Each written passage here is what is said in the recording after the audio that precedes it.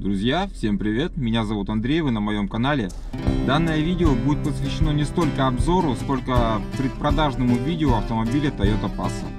Данный автомобиль праворукий, пригнанный из Японии. Находится он в Челябинской области. Сразу же отвечу на пару первых вопросов. Э, по поводу электронного ПТС. Электронный ПТС действующий, с документами все в порядке, утилизационный сбор на машину уплачен. Машина растамаживалась на юрлицо. То есть э, новый владелец автомобиля будет первым собственником в России. А касаемо экстерьера. На автомобиле противотуманные фары диодные, а остальная оптика галогеновая. Сзади у автомобиля диодные фары. Начнем с багажника.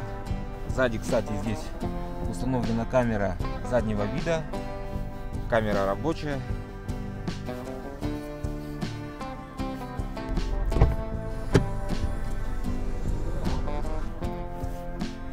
Багажник здесь, кстати, достаточно просторный, плюс еще вот эти вот преимущества, которые позволяют багажнику разложиться в пол, точнее полностью опустить задние сиденья. Можно, в принципе, смело ехать в Ашан за покупками.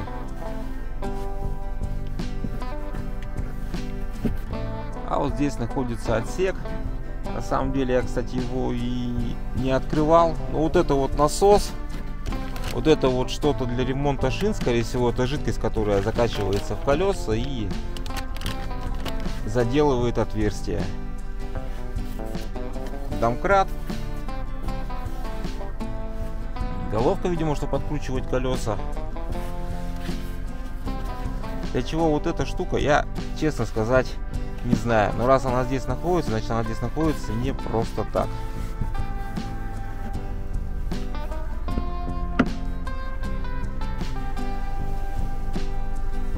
Поднимаем обратно спинки сидений. Здесь есть для этого даже удобненький крючок, просто с камерой это не очень удобно делать. Здесь крючочек взяли, за него уже потянули, здесь он защелкнулся. Перемещаемся на задний ряд сидений. Здесь салон бежевого цвета, ну или, наверное, больше серого. Бежевые коврики, черные вставочки под руки, ну, где находятся руки у вас во время поездки. Ну и по поводу места.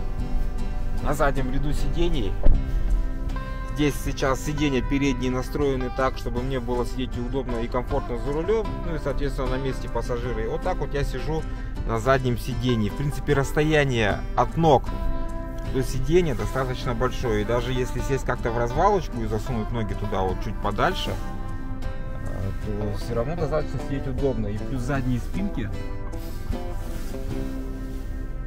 а, нет, задние спинки здесь по горизонтали, точнее по вертикали никак не двигаются. Посадка удобная, но было бы, кстати, классно, да, если бы так сделали спинки, что можно было регулировать наклон задним пассажирам. Но здесь, к сожалению, такого не предусмотрено, но все равно достаточно хорошая ровная посадка.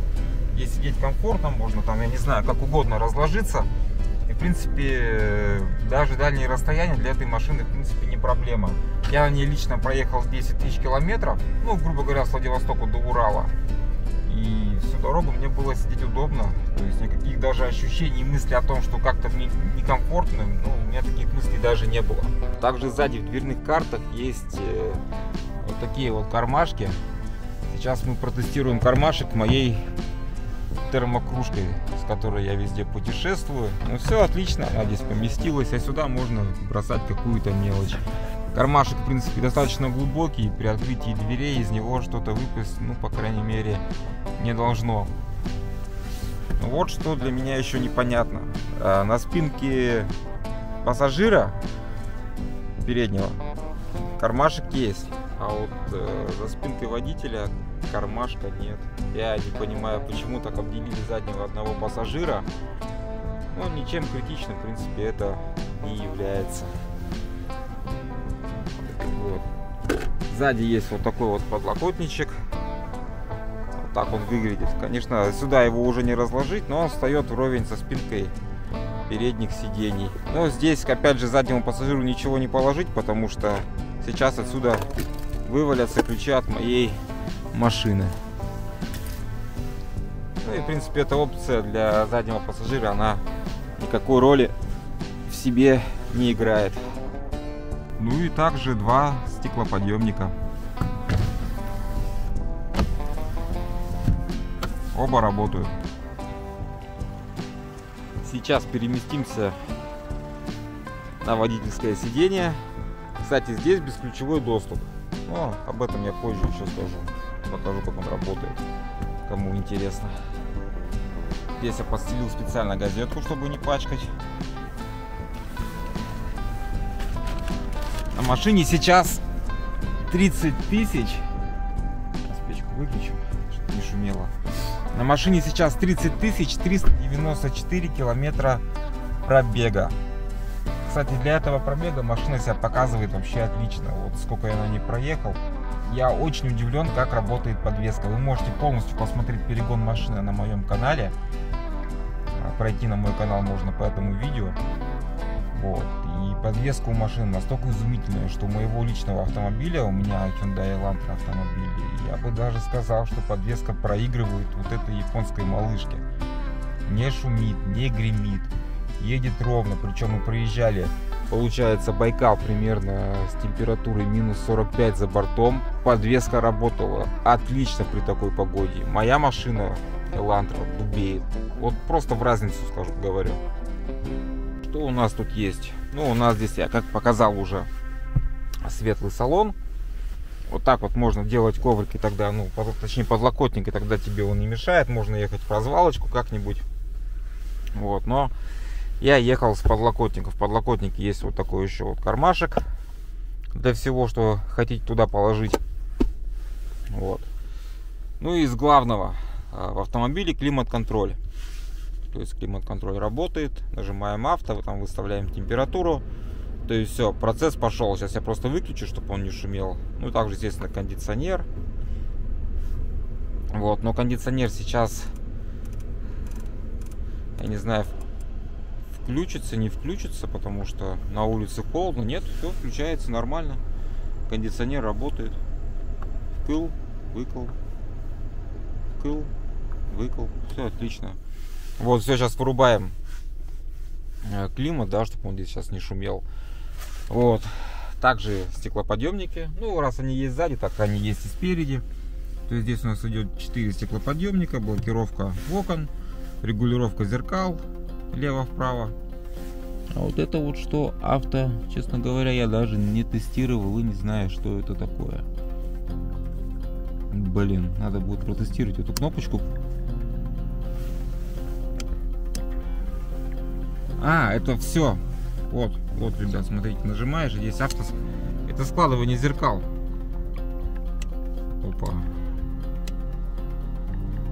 А я и не знал об этой замечательной функции коробка автомат, то есть паркник, э, задняя скорость, нейтралка, движение, СБ, честно, не тестировал.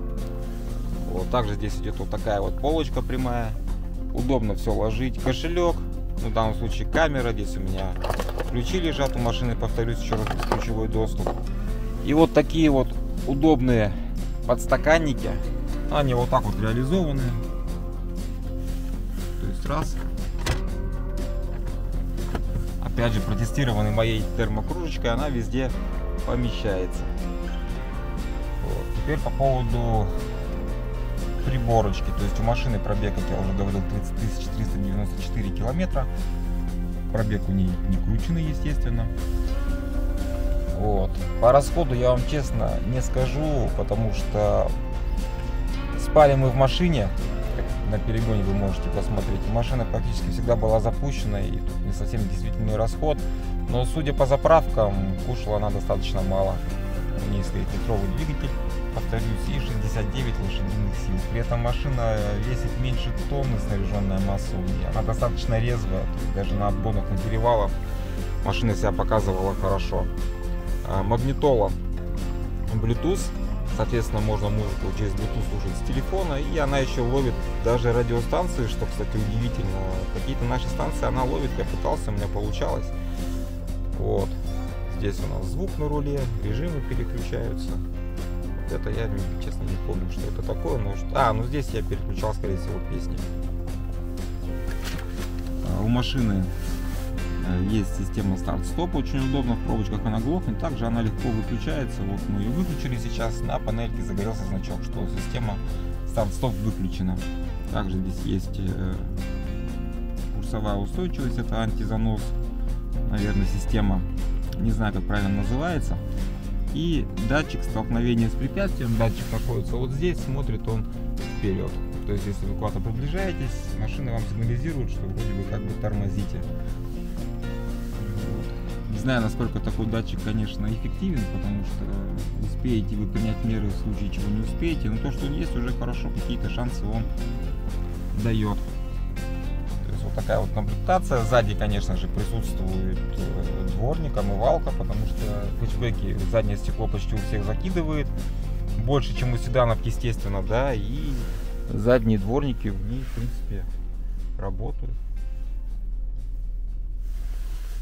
Вот, сейчас не буду я их включать, потому что стеклышко чистое, не хочется его пачкать дворником, чтобы он разводов не оставлял. Кнопочка аварийки. Также здесь присутствуют кармашки. Ну что кармашки? Литровая бутылочка в кармашек э, спокойно вмещается. Также есть вот такой вот кармашек под всякую мелочь, если нужно положить. Центральный замок. Вот он открылся, закрылся, открылся. Стеклоподъемники все работают. То есть левый,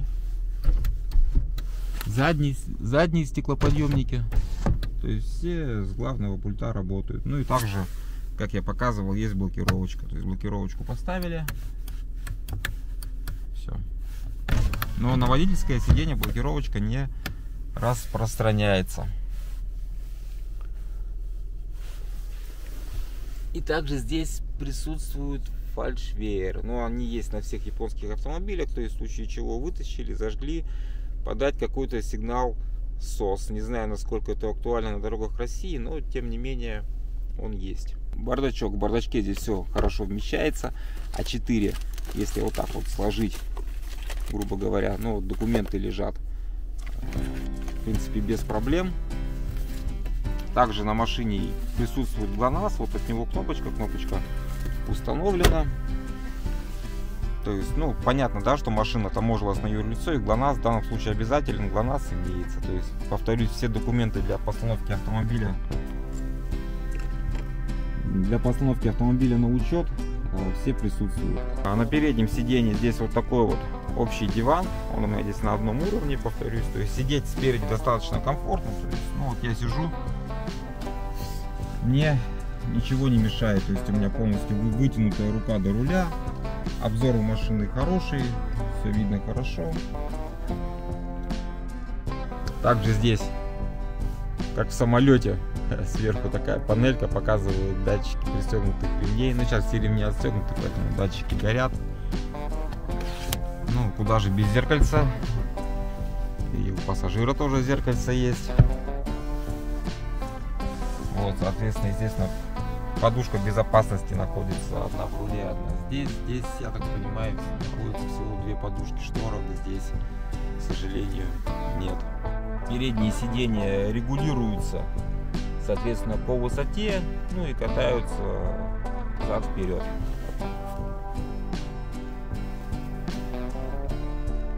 Кому интересно, как спать в машине, посмотрите перегон. Он находится в этом же плейлисте.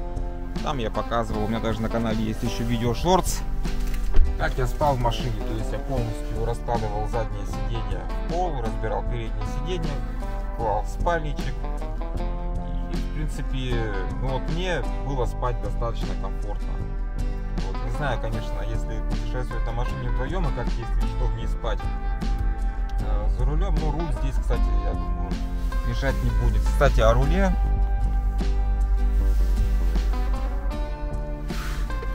руля тоже есть регулировочка. По вылету он не регулируется, но по высоте, пожалуйста. Ну, честно говоря, по высоте я его себе не регулировал, как машину забрали. Так, в принципе, мы и поехали. У машины бесключевой доступ. закрыли, свернули зеркала. Ну, кстати, можно это отключить, и они не будут сворачиваться. Открыли, сели, кнопочка старт-стоп. Запустили двигатель, зеркала раскрылись. На машине, кстати, установлена липучечка. Хорошая очень. Данлоп едет мягенько, хорошо и лед держит отлично. Опять же, перегон это все продемонстрировал. Так, кстати, забыл показать. Камера заднего вида. Самое главное для парковочки. Вот такой вот э, легенький обзорчик получился. Точнее, предпродажное видео. Кому данный автомобиль интересен, пишите либо в комментариях. Вот. Ну да, в комментарии пишите. Я, наверное, в закрепленном комментарии оставлю контакты, все телефоны, куда можно позвонить. Вот, объявление я на дром тоже сегодня, ну, на момент съемки сегодня начало февраля, какое сегодня число, 7 по-моему, или 6 Вот. На дрон сегодня объявление выложу, то есть э, все будет. Кому что интересно, обязательно звоните, спрашивайте. Машину покажу, на все вопросы отвечу.